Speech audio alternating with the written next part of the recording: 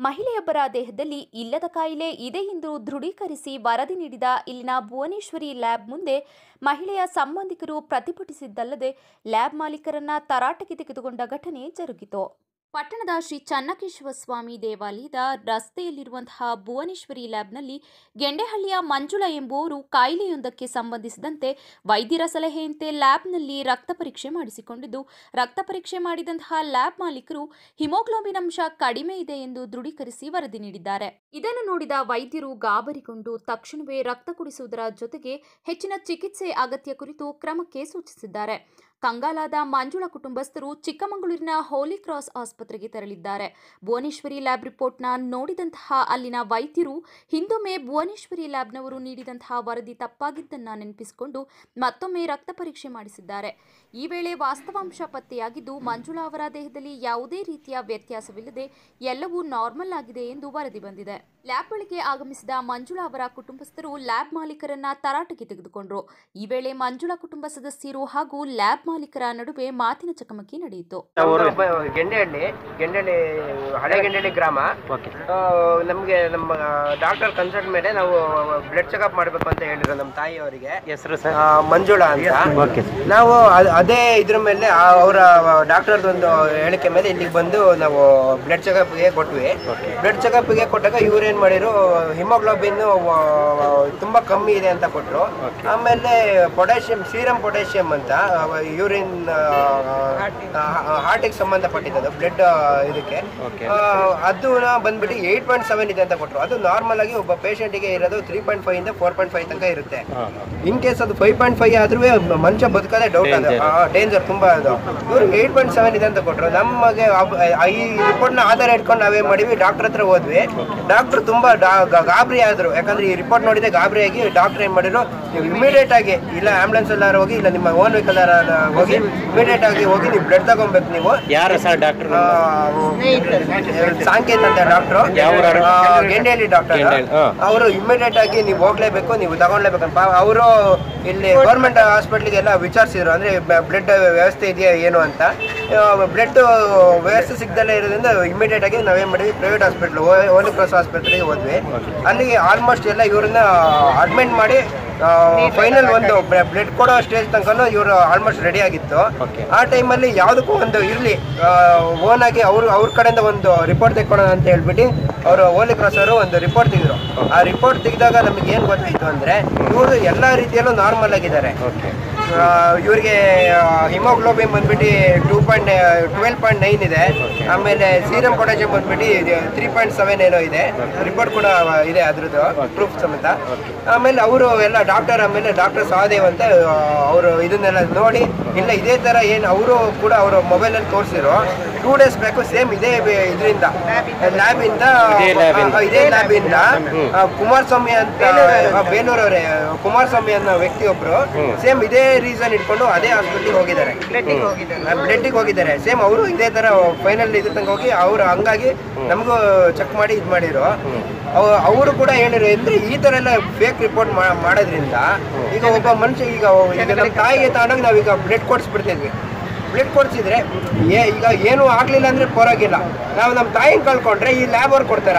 ನಾಳೆ ನಾವು ಇದು ಬಂದು ಇಟ್ಟು ಇದೆ ನಮ್ಮ ತಾಯಿ ಕೊಡಿ ಅಂತ ಈ ಲ್ಯಾಬ್ ಅನ್ನು ಕೇಳಿದ್ರೆ ಅವ್ರು ಕೊಡಕ್ಕಾಗತ್ತಾ?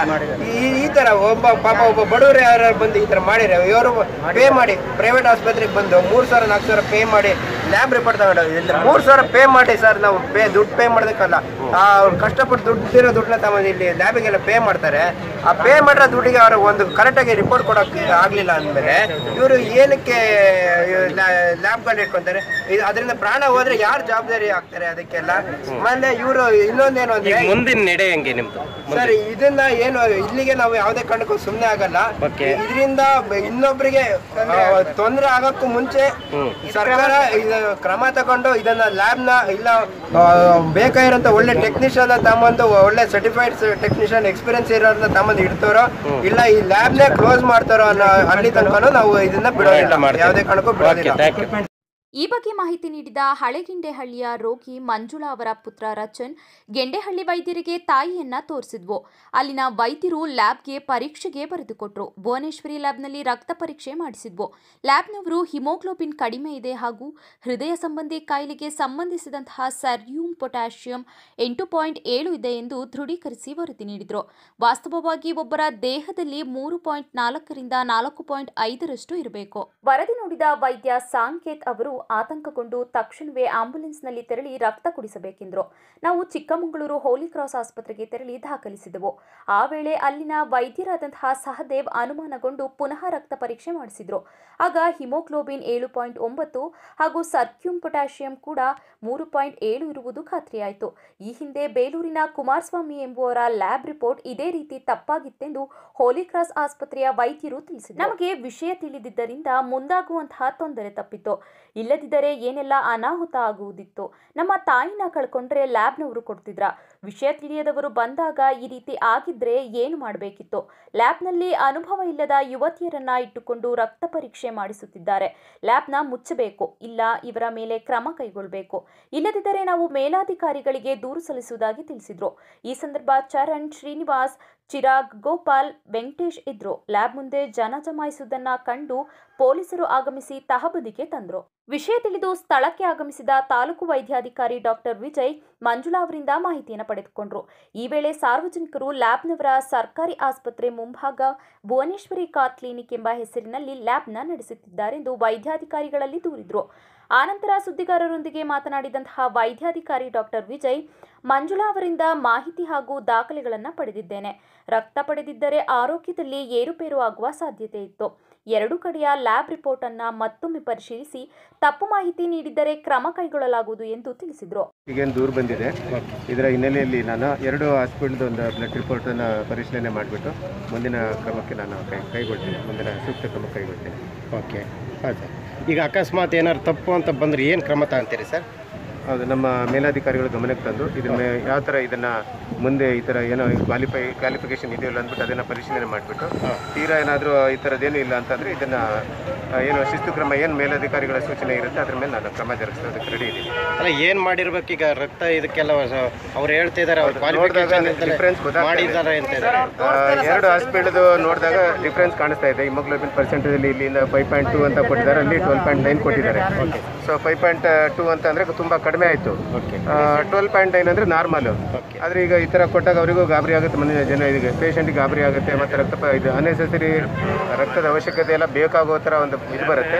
ಹಾಗಾಗ್ಬಿಟ್ಟು ಇದ್ರ ಬಗ್ಗೆ ನಾವು ಸ್ವಲ್ಪ ಕ್ರಮ ತಗೊಳ್ಳೇಬೇಕಾಗುತ್ತೆ ಸರ್ ಒಂದು ಪಕ್ಷ ಬ್ಲಡ್ ಕೊಟ್ಟಿದ್ರೆ ಅದು ಅವ್ರು ತಗೊಂಡಿದ್ದಿದ್ರೆ ಬ್ಲಡ್ ಏನಾದರೂ ದೇಹಕ್ಕೆ ತೊಂದರೆ ಆಗ್ತಾ ಇತ್ತು ಬ್ಲಡ್ ಅದೇ ಚೆನ್ನಾಗಿರೋ ನಾರ್ಮಲ್ ಇರೋರು ಬ್ಲಡ್ ಅವಶ್ಯಕತೆ ನೀರಲ್ಲ. ತಗೊಂಡ್ರು ತೀರಾ ಆ ಥರದ್ದೇನು ತೊಂದರೆ ಆಗಲ್ಲ ಬಟ್ ಅಲರ್ಜಿ ಇಲರ್ಜಿ ಆಗೋ ಚಾನ್ಸಸ್ ಇರುತ್ತವೆ. ಕೆಲವೊಮ್ಮೆ ಹೆಚ್ಚುವರಿ ತಾಂಡ ಪ್ರಾಣಕ್ಕೆ ಅಪಘಾತ ಅಂತ ಐತಲ್ಲ ಸರ್? ಪ್ರಾಣಕ್ಕೆ ಆ ಥರದ್ದೇನು ಬರಲ್ಲ ಬಟ್ ಏನಾದರೂ ಸುಮ್ಮನೆ ಈಗ ಬ್ಲಡ್ ಕ್ರಾಸ್ ಮ್ಯಾಚಿಂಗ್ ಅಂದರೆ ಸುಮ್ಮನೆ ಅನ್ನೆಸೆಸರಿ ಇದು ಬರ್ಡನ್ ಅಂತ ಅಷ್ಟೇ. Okay okay. ಆ ಥರ ಇರುತ್ತೆ.